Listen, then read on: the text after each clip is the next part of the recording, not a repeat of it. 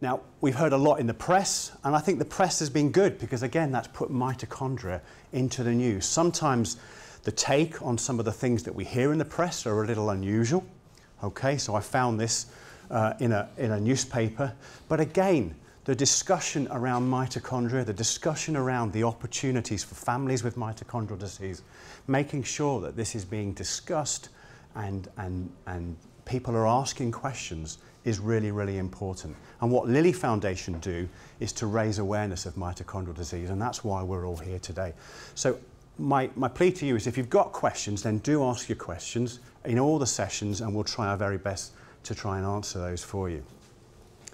So what Alison and Liz asked us to do in this first session is just to go through a series of questions uh, and, and explain a little bit about mitochondria, what they do, and again, some of the complexities of, of the genetics that underlie mitochondrial function that are important to understand in, in how when uh, mutations in mitochondrial genes cause a, a clinical phenotype. So what are mitochondria and what do they do? So we find mitochondria uh, within the cell of almost every single cell within our body. So we have mitochondria in our fat cells, in our brain cells, our heart cells, our nerve cells in the brain and central nervous system. The only one that we don't find them in are red blood cells. And what they do, as you can see in this little diagram in the bottom right-hand corner of the screen, within the typical cell you have the nucleus in the middle of the cell and the mitochondria are found in the area of the cell called the cytoplasm. And they're there because they have an important function in making energy in the cell. So when we look at mitochondria within the lab, we can see them uh, in different shapes and forms and sizes. The picture on the left shows what we call an electron micrograph. So this is looking at very, very fine detail of a mitochondria within the cell. And you can see it's got this very unusual uh, membranous structure. Um, these are called cristae, and they're an inner and outer membrane. And within the middle of the mitochondria, the space that's taken up is called the matrix. And mitochondria, when you look at them in other ways, like down a microscope in living cells, you can see that they move uh, around and are able to kind of share their genetic material. Unfortunately, on the Mac, uh, the, the video is not working very well, so I can't show you that. So if we think about what they actually do, there are lots and lots of functions of mitochondria. Uh, and we know that within the context of mitochondrial disease, the most important of these is this set of um, enzymes shown here in the middle, which we call oxidative phosphorylation, or some of you may know as mitochondrial complexes. And these are enzymes that are important in making the energy uh, within the, the organelle itself. So mitochondria essentially turn the fuel that we take into our bodies in the forms of foodstuffs, of, of carbohydrates and fat, into a usable energy source for the cell to work be that the muscle cell or the brain cell or the heart cell. So the analogy of a, of a furnace or a power station is a really good one to be using. And the particular part of the mitochondria, whilst you have all of these functions that they do carry out that takes, uh, where this takes place are these mitochondrial respiratory chain complexes, which are a group of enzymes that sit within the membrane of mitochondria, making this usable energy source which we call ATP, which is what the cell uses uh, to function normally. Now, what happens when mitochondria go wrong? So, I went to the gym this morning, and this is what I kind of felt like after I'd had 30 minutes in the gym here. Uh, Alison was also in the gym. She was a lot fitter than I was. But when our mitochondria are depleted of energy, then obviously uh, we find it difficult to, to have that energy uh, to, to move and to function normally. So when the mitochondria are not producing sufficient energy, it's like the batteries run down and it's losing power and it's not able to maintain power.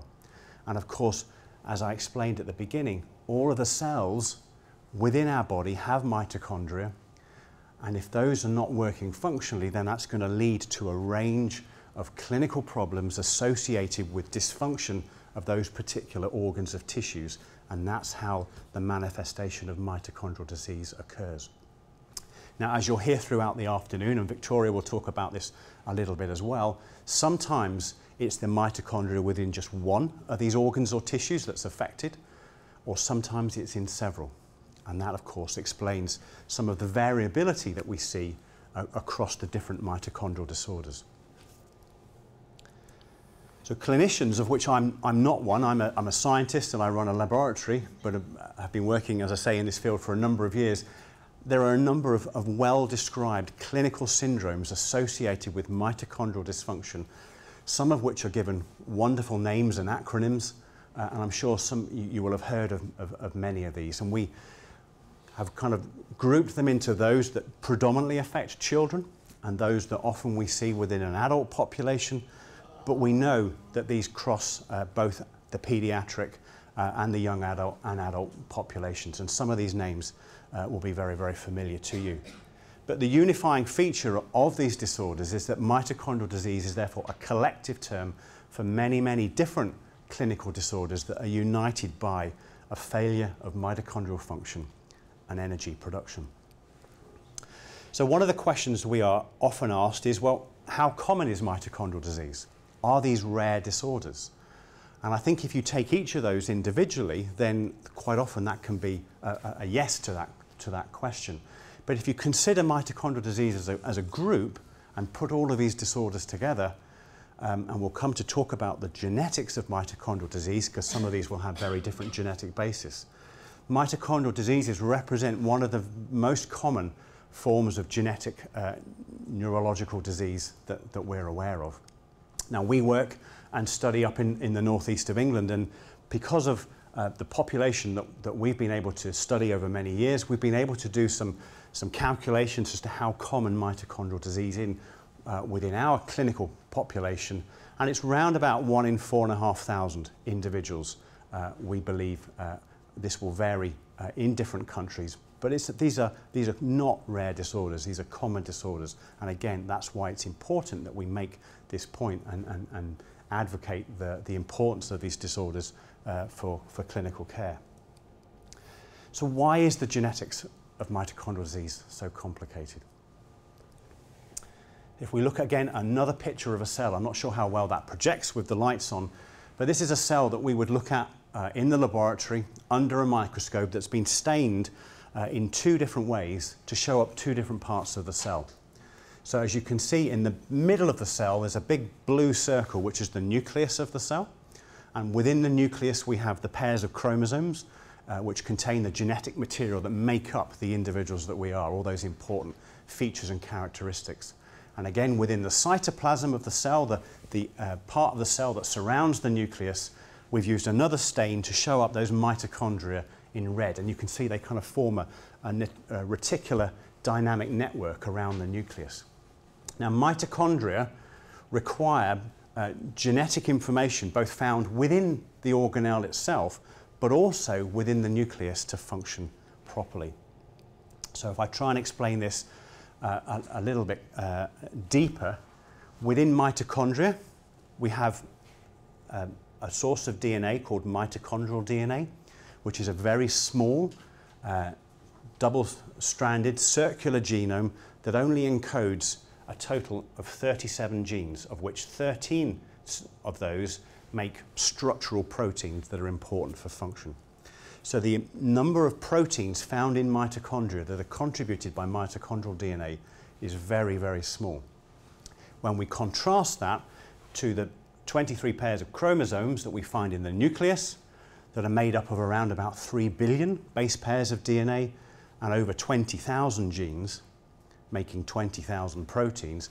But of those, there's almost 1,300 that are found in mitochondria. So maybe 100 uh, fold more than the contribution of mitochondrial DNA, but to, for mitochondria to function normally and properly, you need the contribution of both sets, the nuclear genes and the mitochondrial genes for normal mitochondrial function. So there is a, a pool of over 1,300 different genes that are required to be expressed and make those proteins normally for normal mitochondrial function. And so, therefore, the propensity for mitochondrial disease to arise because a mutation of one of those genes, as you can see, is really quite significant. So I'm going to focus on mitochondrial DNA first and talk a little bit about that and its expression and its genetics. So as I said, it's a very small DNA molecule. It's only 16,500 bases in size, so it's very easy to work with and sequence and, and determine it, its, its sequence. Uh, it shows a very strict pattern of inheritance, so we only inherit our mitochondrial DNA from our mothers, and that's obviously very, very relevant within the disease setting uh, for uh, mitochondrial DNA mutations. It's present in high copies within cells, uh, and that reflects the amount of energy required for that particular cell type for ATP synthesis and energy production. So tissues like heart and brain and muscle will have many, many more copies of mitochondria than perhaps uh, mitochondria that you find in skin cells, where perhaps they're not as, as relevant. And there's also a phenomenon associated with mutations of mitochondrial DNA, which I'm going to talk about, called heteroplasmy and homoplasmy. But perhaps one of the most important things about mitochondrial mutations is because of this heteroplasmy, is that it's very difficult to predict how these are going to be transmitted from uh, mother to child and, and therefore uh, determine the, uh, the, the, clinical status of, of the child in the next uh, uh, generation.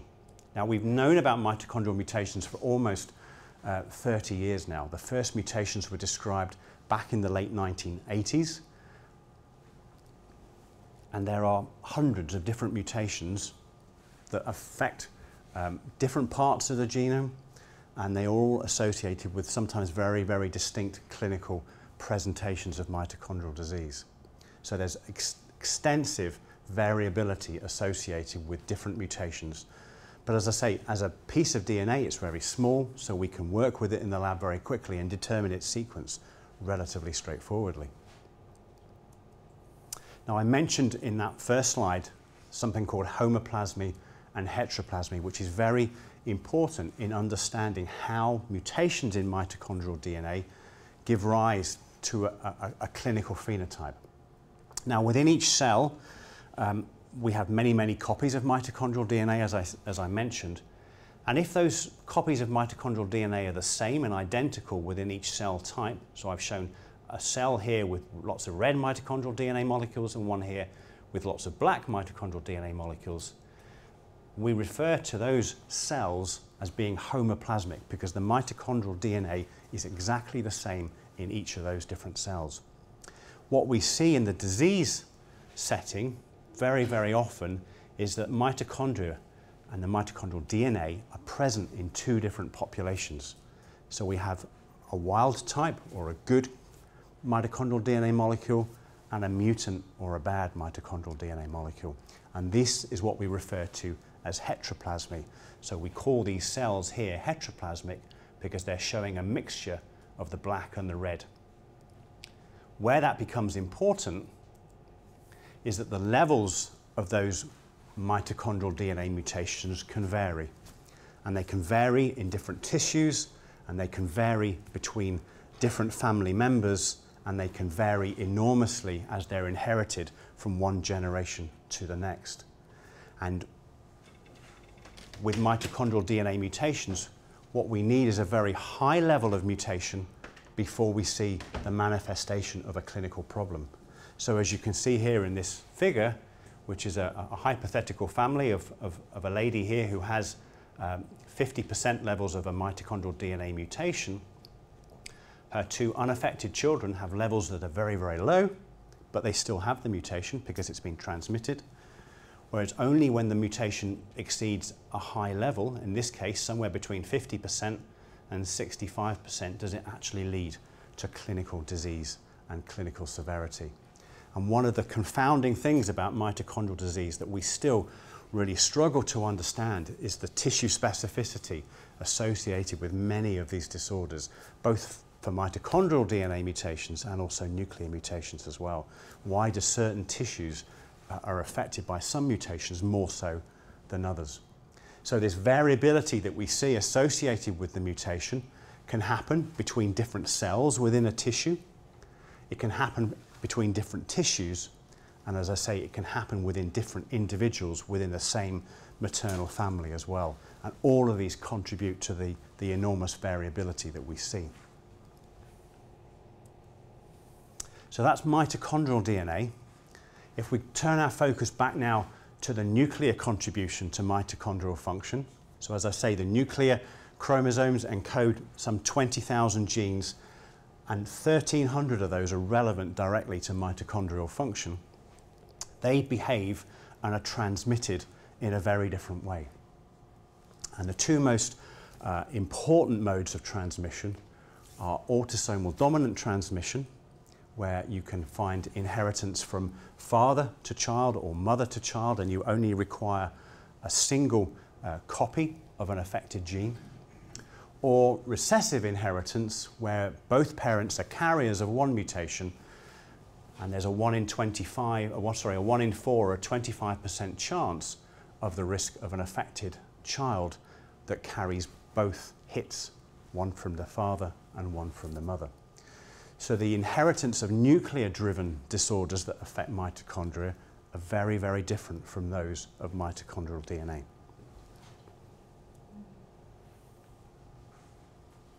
What about the variability associated with nuclear mitochondrial mutations? What, again, there are different genes of these 1300 whose products affect and, uh, uh, and work and function in different tissues. Uh, these give rise to different biochemical defects that lead to this tissue-specific expression. Again, the age of onset is, uh, can sometimes be relevant to uh, the pattern of inheritance. So um, autosomal recessive inherited diseases tend to have a much earlier onset, whereas sometimes the dominant disorders uh, will occur much later on in, in adult life. And there are many other things that can affect the way our genes behave and function including uh, environmental and other genetic influences. So to summarize this first part of, of this talk, mitochondria are vital for cell function. Mitochondrial disease refers to very many different clinical disorders, each of which can have a different inheritance pattern. And whilst individually we sometimes consider these to be rare, it's very important that we understand and recognize that collectively mitochondrial disorders represent a very common group of clinical uh, genetic diseases.